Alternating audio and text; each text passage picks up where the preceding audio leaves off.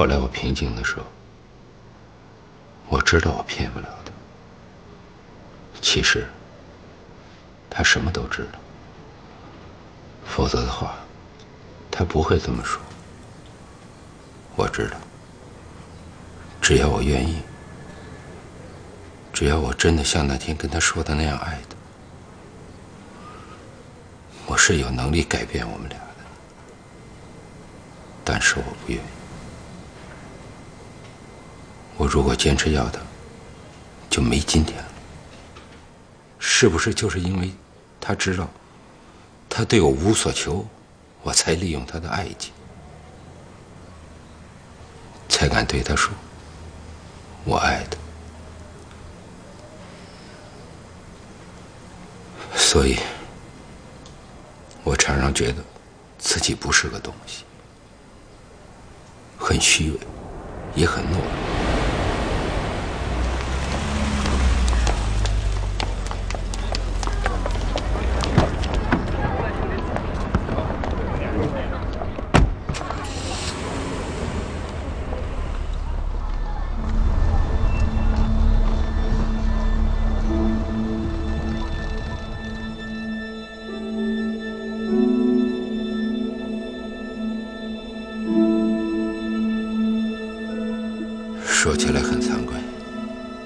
几乎用一种伤害他，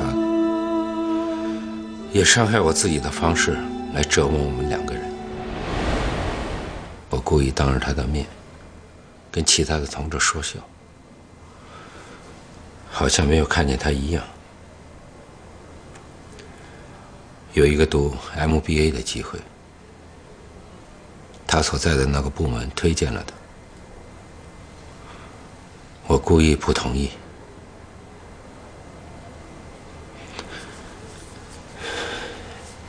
他好像可明白我是怎么回事。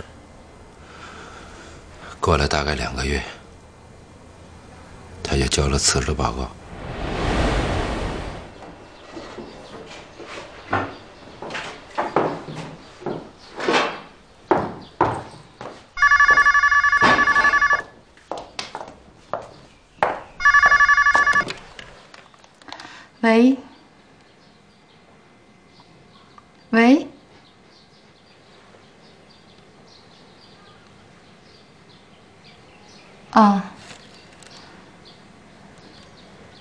对，我正在收拾东西。我丈夫已经走了，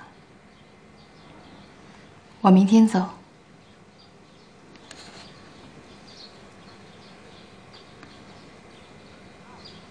你来吧。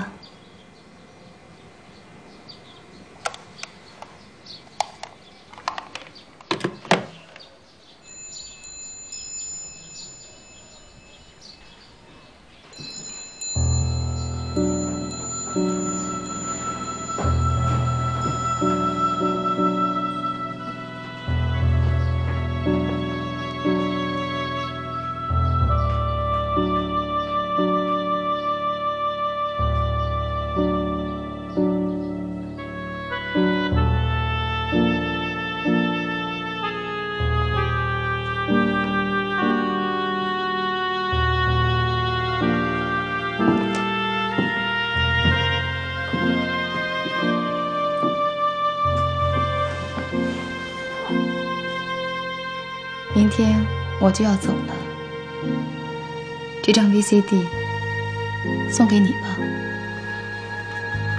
张哥，嗯，张哥，你原谅我，原谅我。不，你让我说，我知道，如果我今天不说，我就再也没机会了，我是不会成功的。我知道，我每一次成功，都是以伤害你为代价。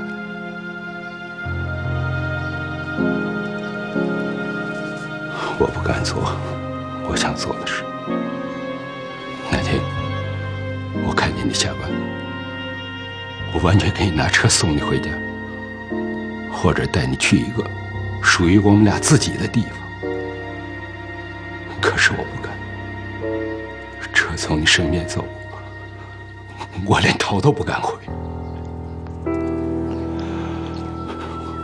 我想让你去，我想让你去学习你自己最喜欢的专业。我知道，我知道你这方面比其他人都强。可是我怕，我怕别人说我袒护你。我在楼道见到你的时候，我想吻你的眼像碰到了陌生人一样，让你从我身边走过。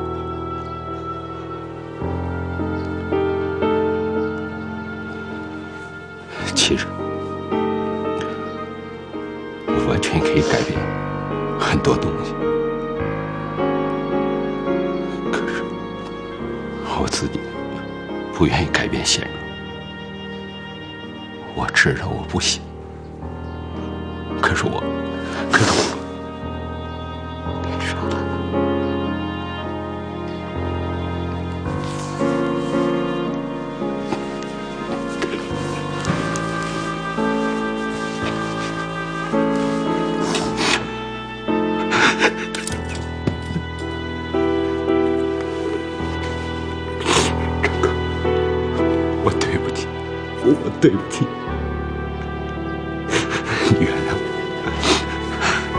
原谅我。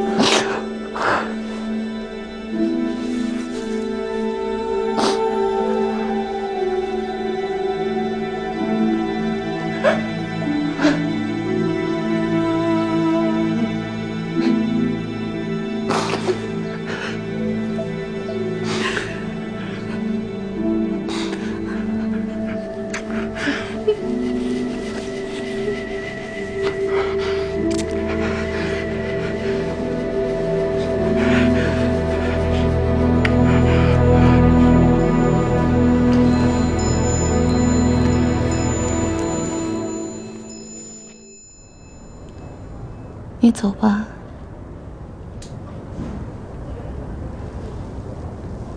走吧，咱们谁也别为谁放弃什么，这样已经挺好的了。我说过的话我会遵守，我一辈子都会为你守口如瓶。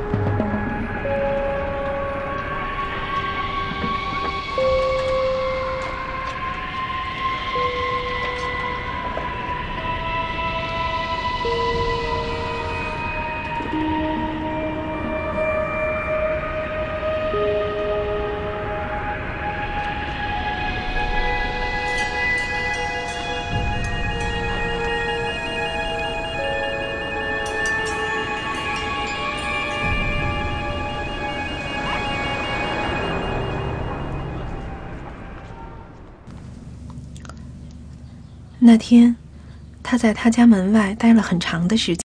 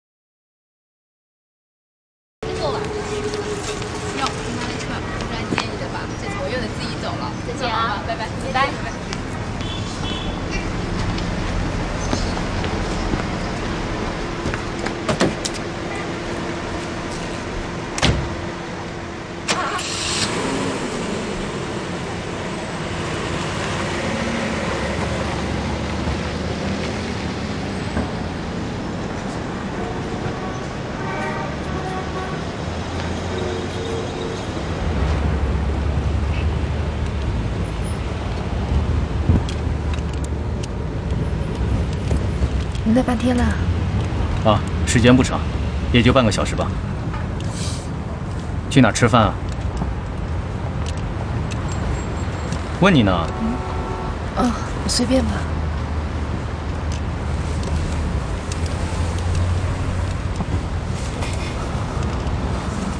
还去老地方吧。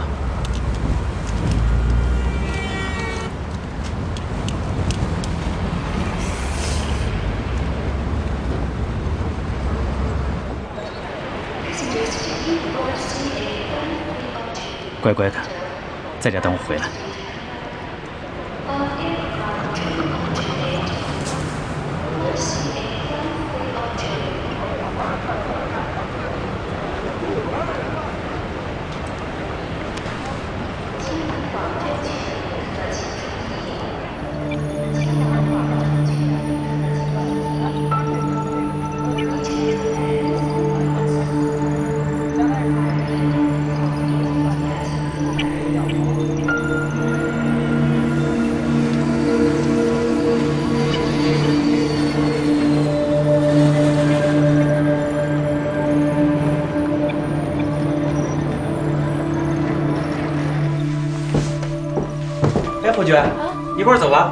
你们先走，我去打个电话。我走了啊。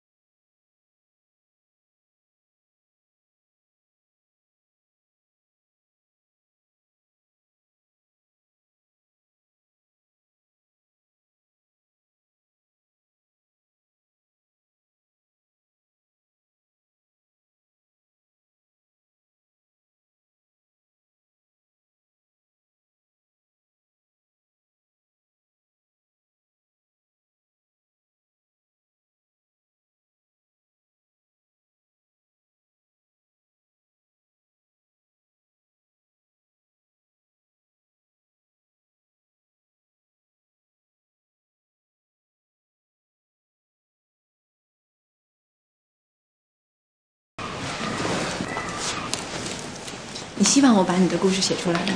随便。嘿，你的录音机。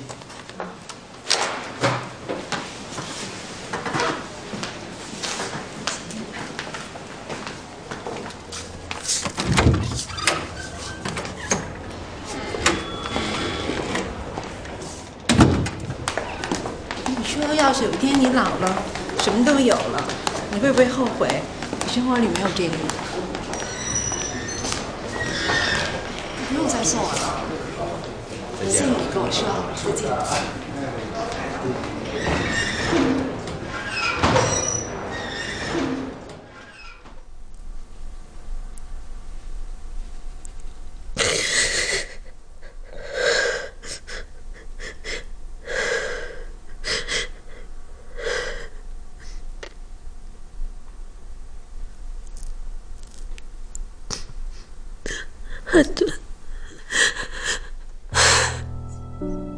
什么要给我讲这个故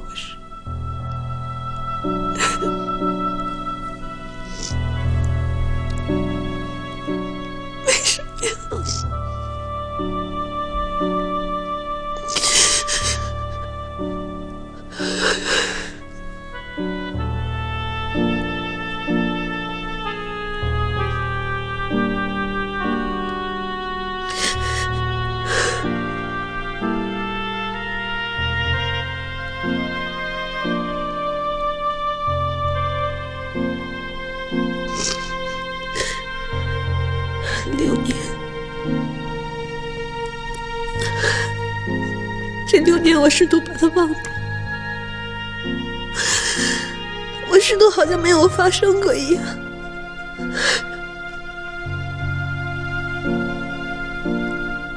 我以为我的生活可以可以重新开始，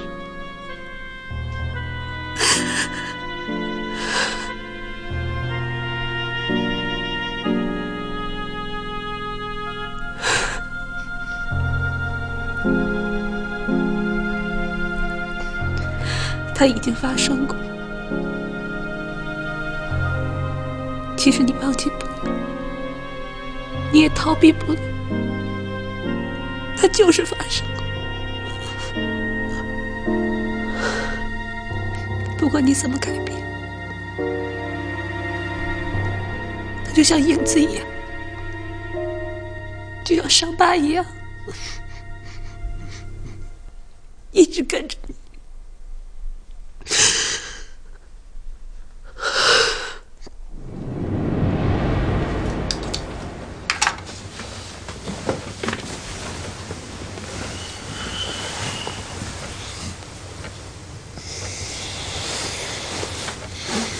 今天先？我不太舒服。今天才几号啊？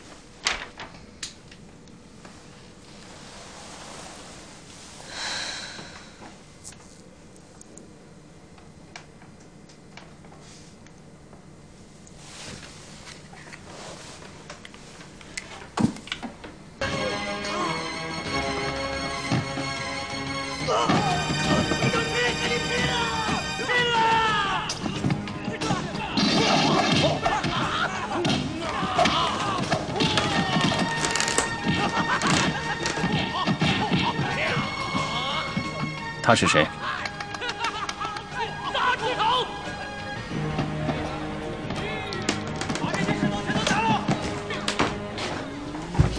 好了好了，终于到。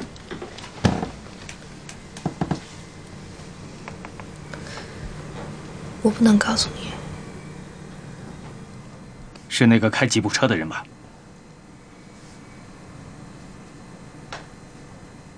我问你话呢。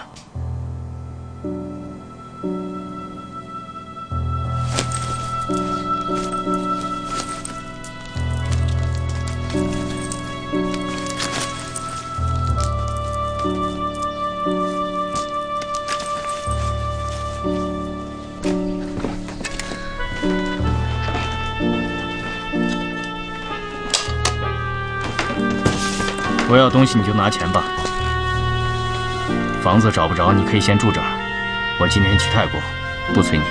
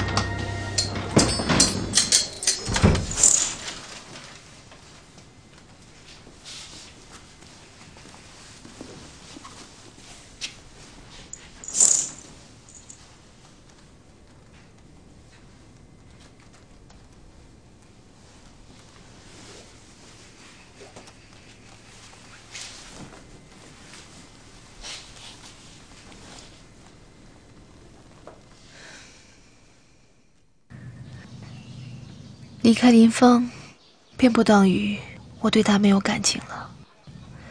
最主要的原因，是我想还给他一个没有隐瞒、没有欺骗的生活。我们从小就青梅竹马，我们的关系其实更像是兄妹。和他在一起，我总觉得自己长不大。林峰，林峰，干嘛？你回来啦！啊！哎，你快下来，帮我拿东西，快沉死我了！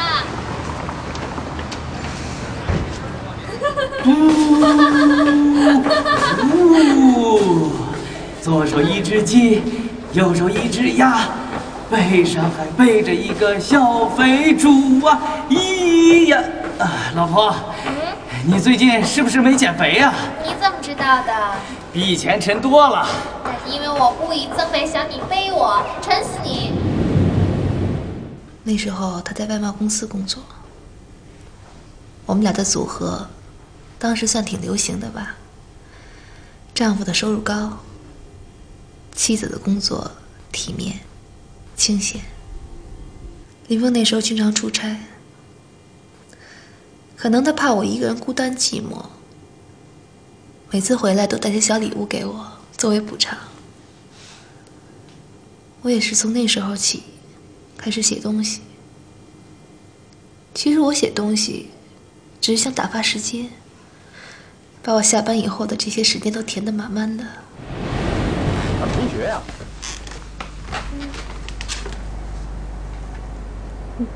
再好好想想，咱们教室斜对门，拐弯，打是你借给他们的。没有，人家主动约的稿。我就是三班的呀。真的真的，我是高一三班。我有一个同学啊，在青年报社当总编，我就把你的日记还有散文都送给他看了。他看完以后对我说，写的相当不错，问我能不能发表，那时候多傻呀！我就替你答应了，也没有告诉你。你不会埋怨我吧？不信我会唱啊。老公，你真好。你来看病啊？你看啊，没挂上号。已经发表了这么多篇了吧？今天不行。以后你每发表一篇我就攒五百块钱。哎，我给你等发表到二十万字的时候，咱就出本书，怎么样？嗯 哟，总经理那就把它啊贴上去吧。慢着点啊！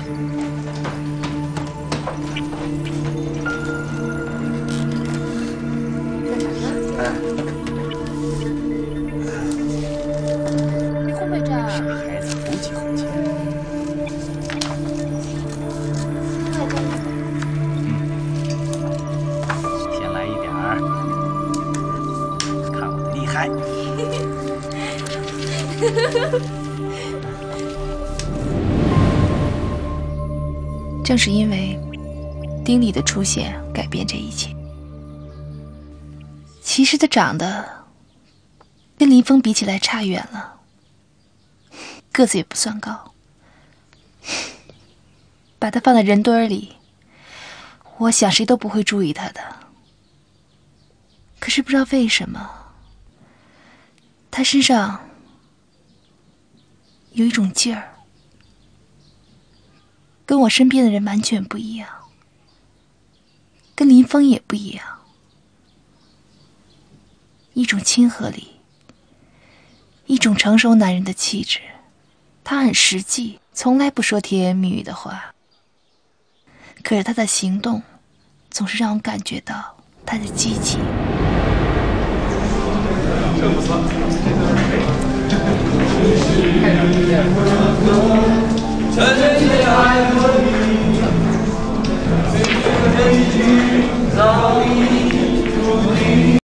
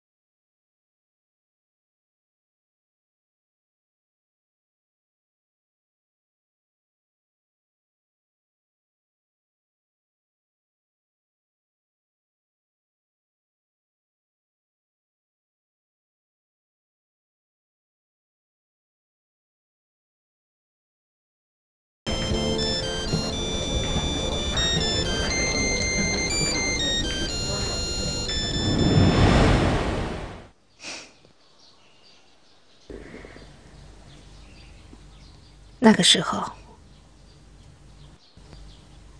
我就是这样，也没有什么具体的原因，各种因素凑成的吧。已经发生了，只有去面对。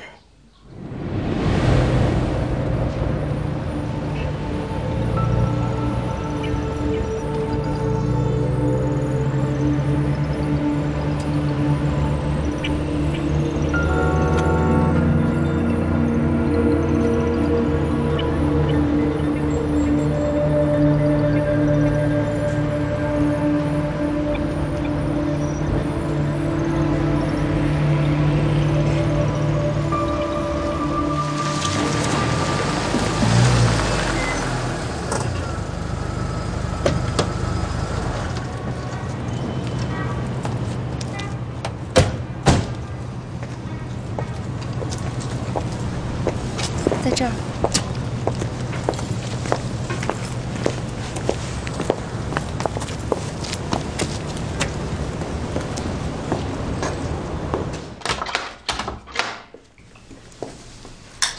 进来吧。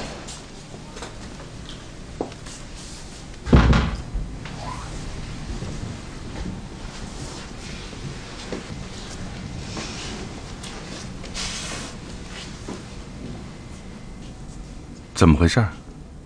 你怎么住这儿啊？我离婚了，什么时候？两个月前。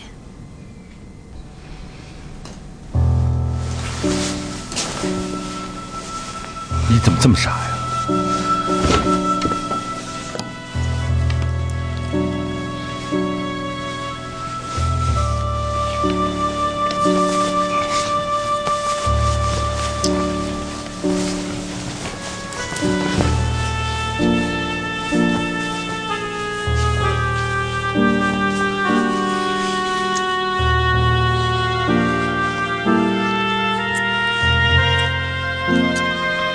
何德何能，值得你这样对我？我是你那种最靠得住的情人，除了爱我什么都不要。如果有一天你要离开我，我将一生为你守候如宾。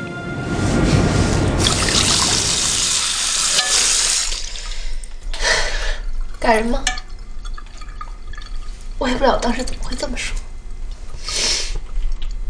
有一个词叫做“立灵之婚”，我想我当时是情灵之婚吧。我说的怎么跟他说的一样？也许我是故事中那个女人。听我讲完，你还会感动吗？也许周安就是丁力，那只是男人讲的故事而已。天知道我怎么会这么傻。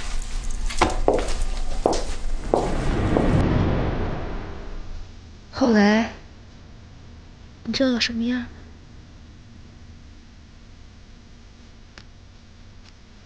我就像宋朝的老员外养的一个外室。安顿，那就是我要的爱情。他有一把我的钥匙，但他不常来。他总是说他很忙。进来。我从来不主动要求他，一切都随他的方便。你知道吗？我没逼过他，我从来没有逼过一句让他说他娶我的话，没有。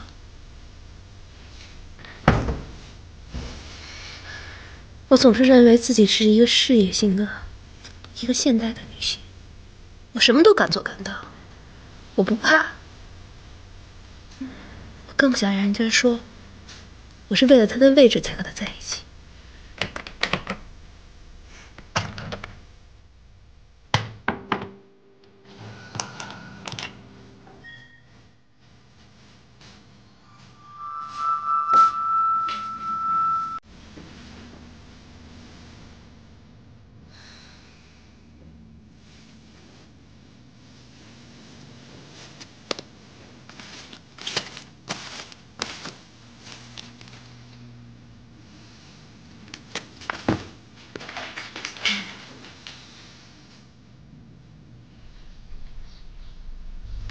的职位升得很快，也不再分管我所在的报社了。我们俩也难得有机会再见面。就在这个时候，我发现我怀孕了，反应很厉害。医生警告我说，如果你不想要的话，就马上做掉。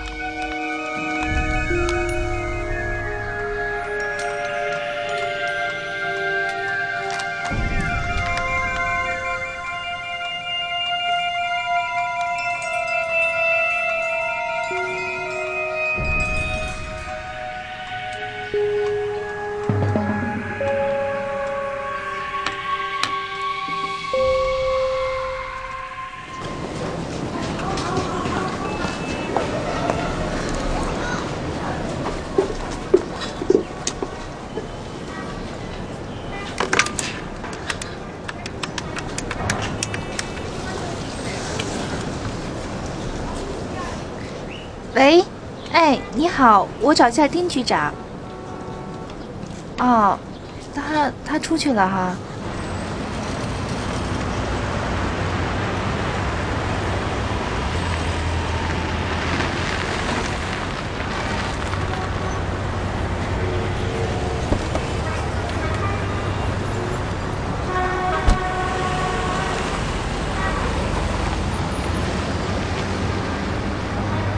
你听谁说马季下蛋了？我听上海人说的呀。上海人说马季下蛋吗？上海话管马季叫什么呀？叫母鸡呀。母鸡不是下鸡蛋吗？我根据是这个呀。啊，你们这叫以讹传讹。哦，这么说您没下过蛋？下蛋是下蛋了。下了，我这下的是鸡蛋。啊，好吧，我听人了啊。下土龙蛋，一个星期之后就会来。呃，明天得约。谢谢。明天得预约是吧？那你帮我看一个吧。行行。哎，给，挂一个妇是吧？还有一个口腔科。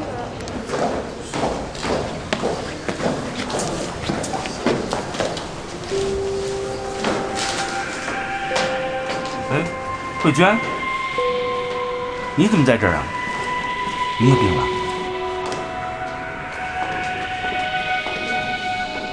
这是我妻子，这是我们报社的小吴。啊，你好。最近啊，流感挺厉害的，他也病了，我是带他来看病的。那我们走了啊，再见。多注意身体。再见啊。我总算见到他的妻子了，他在我面前从来没有提起过他，可他在跟我偷情的这段日子里，也从来没有离开过。那些打电话、写稿子、陪客人、看文件的晚上，其实他要等的电话、要写的稿子、要陪的客人、要看的文件，都是这个被他娇宠的女人，连感冒都是那么隆重。我什么也不是，一个人来到这里，打掉我们的私生子。吴慧娟，谁是吴慧娟啊？进来一下。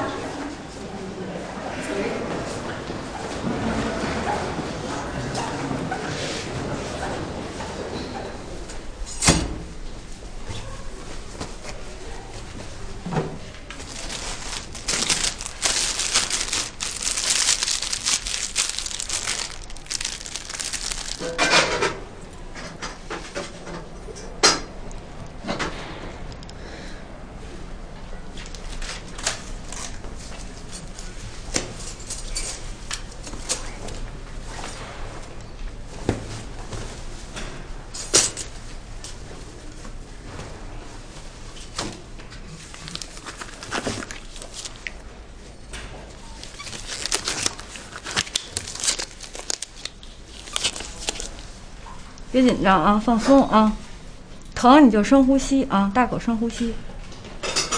你别紧张，越紧张做的越慢，你放松就好做了。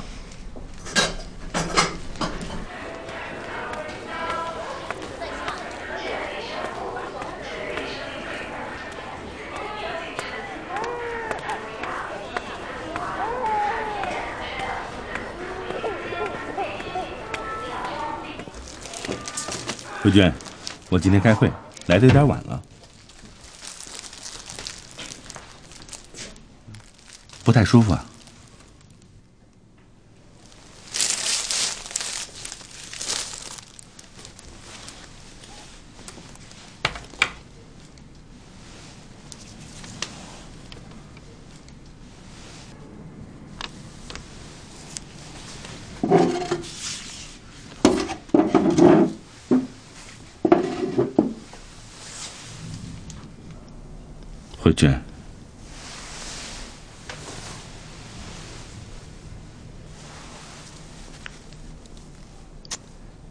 出了这样的事，为什么不告诉我？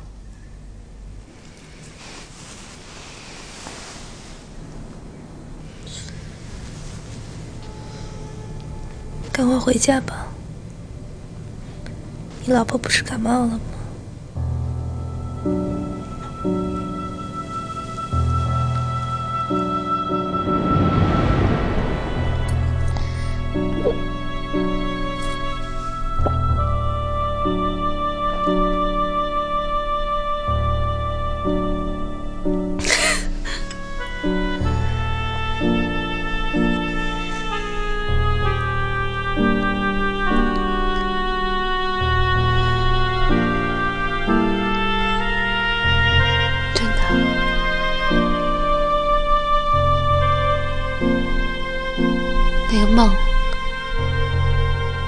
就碎掉了。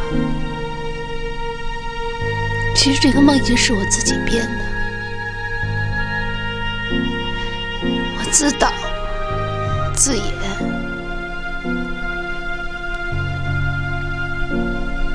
九六年，我辞职了。我没有别的选择，我没有办法面对那个环境。我们耀班班总是报道他的消息，他一步一步的平步青云。那时候我突然发现，他的生活是他事业的一部分，而我呢，一个离过婚的小编辑。他怎么可能为我放弃他现有拥有的一切呢？怎么可能为我改变状态？这他妈的就是胡说呀呵！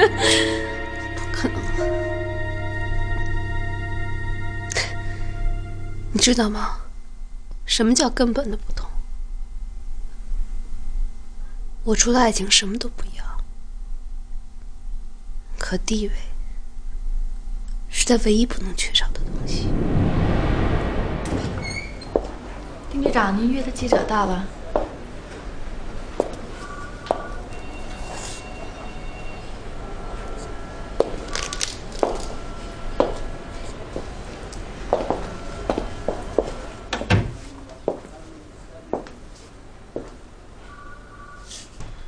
你怎么来了？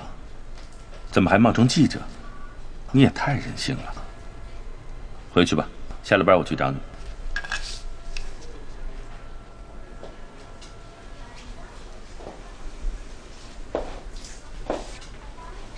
别紧张，我是来要我家里钥匙的。我要搬家了。你你要搬家了？那我你放心吧，我既然答应你的，还会做到的。医生为你守口如瓶。慧娟，我不是说这个，我是你说你这现在怎么样了？身体好点了吗？我看着我如此深爱过的这个人，他有些老了，也开始有白头发了。不知道出于什么样的心理，我伸出手想摸他的脸。那一刹那，我几乎可以说是彻底死心了。把钥匙给我。